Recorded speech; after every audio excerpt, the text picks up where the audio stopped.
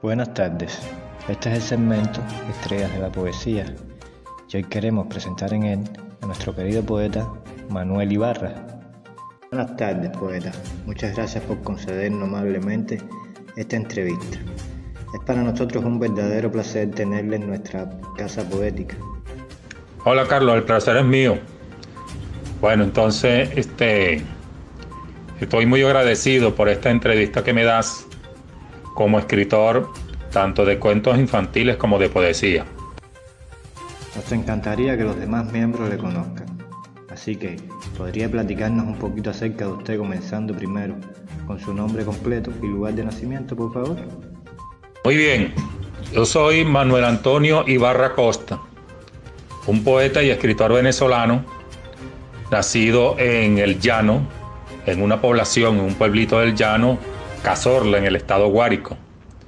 Pero me crié específicamente en el oriente del país, en el estado Monagas, en un pueblito llamado San Vicente, como a unos 10 minutos de la ciudad de Maturín, en el oriente del país.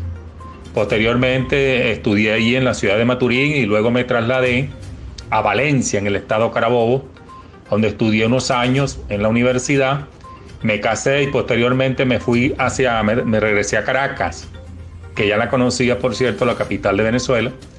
Allí eh, ya casado, pues este, ingresé a trabajar en la administración pública en un instituto universitario a la par que estudiaba en el pedagógico de Caracas de donde por cierto egreso como profesor de geografía e historia y eh, continué trabajando en ese instituto universitario, primero en la parte administrativa y luego como docente, por un periodo de aproximadamente 27 años entre eh, la administración y la docencia, hasta que me jubilaron.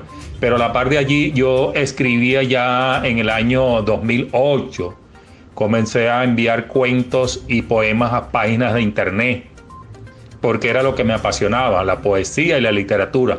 Comencé con la literatura. Mis cuentos se mandaban a páginas de internet donde se publicaban. Recuerdo que entre ellos La abeja campeona, La fiesta de las vocales, La carreta, cuentos eh, eh, del género fantástico y humorístico que tuvieron mucha aceptación. Posteriormente, en el año 2012, Bien, ¿Cuándo comenzó usted a escribir?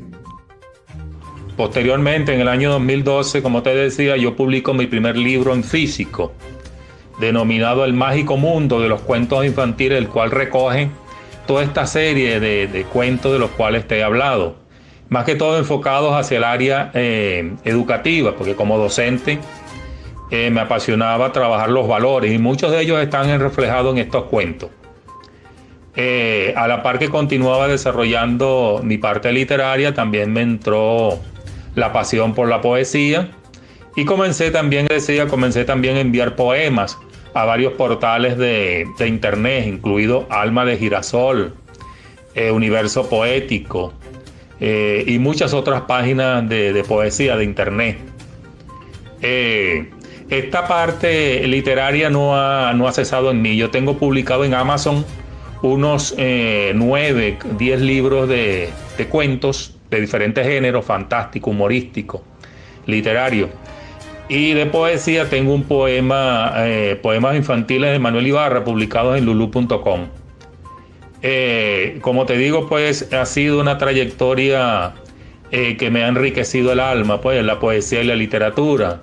Ah, comencé de manera autodidáctica y luego fui perfeccionando con muchos cursos de literatura en internet, tanto eh, como de poesía. Y eso para mí ha sido pues este, de gran ayuda, eh, enseñar mis poemas y mis cuentos a las nuevas generaciones. Eh, también de allí tengo varias antologías publicadas con otros escritores de Latinoamérica en esta, en esta editorial de Estados Unidos llamada este, editorial hispana y muchas otras, mm, otras editoriales en, en Latinoamérica y en Estados Unidos y en Europa. Aparte de la poesía, ¿escribe algo más? Excelente, Carlos. Como te decía, que además de la poesía, yo eh, escribo eh, ensayos sobre temas educativos, reseñas literarias de autores de mi país y del mundo, artículos para revistas infantiles que tienen que ver con literatura y poesía. Escribo en periódicos tanto de Venezuela como de Latinoamérica, de Colombia, de Perú, de Chile, de España. Aproximadamente, ¿cuántos escritos tienen su acervo?